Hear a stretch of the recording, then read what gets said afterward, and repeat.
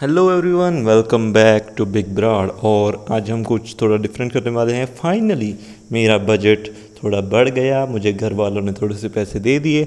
And guess what I got I got an oops got it out of the frame मुझे एक SSD मिल चुकी है। That's right consistent की 256 gigabits of SSD solid state drive five years of warranty and आप shock हो जाओगे you will be shocked by seeing the price इसका price है come on focus as you can see five triple nine और आपको भी पता है, ये सही प्राइस नहीं है।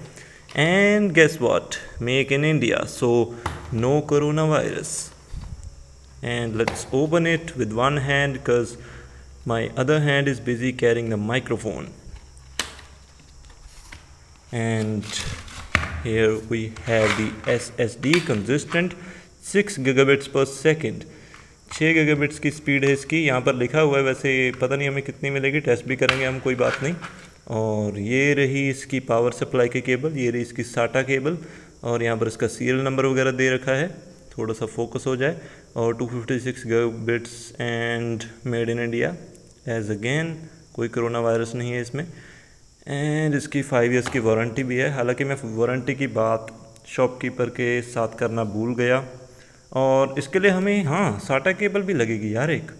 उसका भी मैंने जुगाड़ कर लिया, मैंने नई नहीं ली साटा केबल मैंने सोचा था कि मैं अपने सीडी पोर्ट में लगा दूँगा ये, क्योंकि मेरे पास एक सीडी डीवीडी राइडर भी है और उसको प्लग आउट करके मैं उसमें एसएसडी लगा दूँगा। लेकिन हमारे दुकानदार वाले भैया, एक देवता निकले। उन्होंने ये मुझे साटा केबल फ्री में दे दी। ये ऑफकोर्स सेकेंड हैंड है, लेकिन फ्री का माल तो सबको चाहिए। So let's install it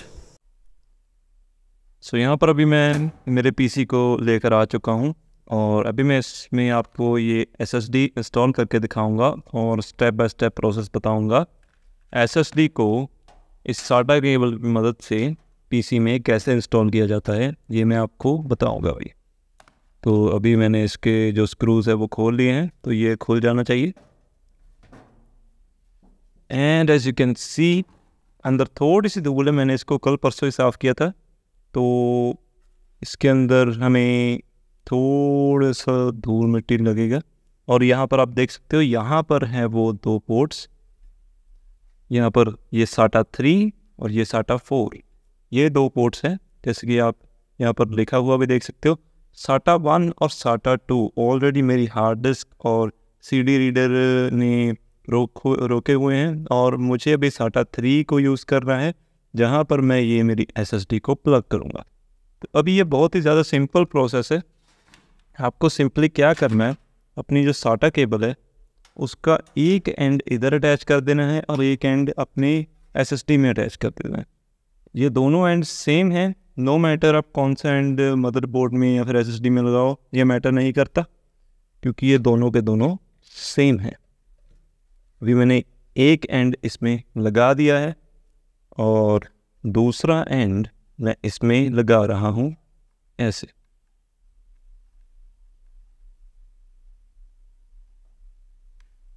अभी ये यहाँ पर लग चुका है। अभी ये वाला पोर्ट खाली है। अभी इसमें क्या आएगा? इसमें पावर सप्लाई से केबल आएगी, जो कि है यहीं पर थी।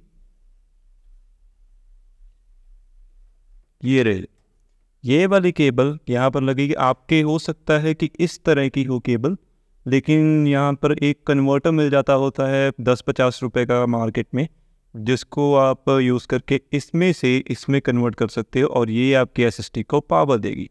वरना आप अपनी हार्ड ड्राइव या फिर अपने सीडी वाले से भी निकाल सकते हो और अपनी एसएसडी में लगा सकते हो। फ़िलहाल मेरे पास एक एक्स्ट्रा है, इसीलिए मैं एसएसडी में इसको यूज़ करूँगा। तो इसको हम आप देख सकते हो यहाँ पर ऐसे पिंस लगी हुई हैं और इसके अंदर भी पिंस है तो वो दोनों पिंस अटैच होनी चाहिए, इस फॉर्मेट में लगाना है। तो अगर मैं ऐसे लगाऊँगा तो वो दोनों पिंस एक दूसरे को फेस करेंगी। तो यहाँ पर मैंने इसको लगा दिया है और यहाँ पर हमारी एस एस डी के साथ कनेक्ट हो चुकी है। अभी यहाँ पर देख सकते हो स्क्रूज दे रखे हैं एस में, ये गोल्डन से एक, दो, तीन, चार। मैं अभी क्या करूँगा, इसको ऐसे यहाँ पर थोड़ा सा यहाँ पर आप देख सकते हो, ये स्क्रू के लिए जगह बाहर आ चुकी है। यहाँ पर एक स्क्रू टाइट कर दूँगा और मेरी एसएसटी ऐसे हिलना बंद हो जाएगी। फ़िलहाल मैं इसको ऐसे छोड़ रहा हूँ, क्योंकि स्क्रू वाला काम मैं बाद में भी कर सकता हूँ।